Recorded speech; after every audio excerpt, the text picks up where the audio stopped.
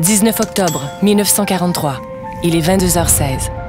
Après avoir été retenu au sol pendant plusieurs heures en raison de la météo difficile, un avion de l'armée canadienne décolle enfin de Gander à Terre-Neuve en direction de Montjoly, Québec. Quatre membres d'équipage et 20 militaires en permission se trouvent alors à bord de l'appareil. À 1h45 du matin, quelques minutes avant d'amorcer sa descente finale vers Montjoly, le pilote se voit refuser l'autorisation d'atterrir.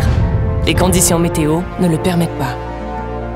Après cet échange radio, plus personne ne sera en mesure d'entrer en contact avec le Liberator Harry. Dans les mois suivant sa disparition, plus de 2000 heures seront consacrées à sa recherche, mais en vain.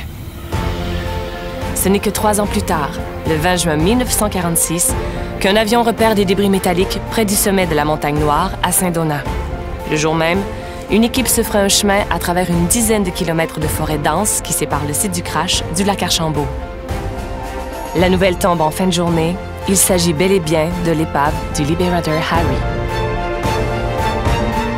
Au courant de l'été 2000, le site est totalement réaménagé afin d'accueillir les visiteurs qui sont de plus en plus nombreux à venir rendre hommage aux 24 victimes au sommet de la montagne Noire.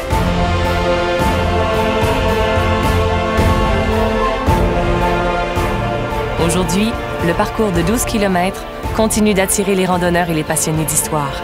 Le sentier, culminant à 892 mètres d'altitude, offre plusieurs points de vue sur le lac Archambault et la ville de Saint-Donat.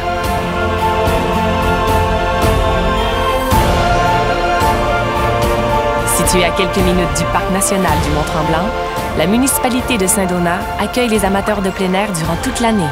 Vélo, voile, kayak, randonnée pédestre en été. En hiver, ski alpin, motoneige, VTT, ski de fond, raquettes et patinage sont autant d'occasions d'apprécier les beautés du premier parc naturel habité du Québec.